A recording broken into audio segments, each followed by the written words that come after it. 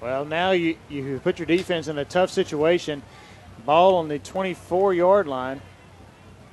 This is reminiscent of the fourth quarter against Madison Central here. Shotgun formation.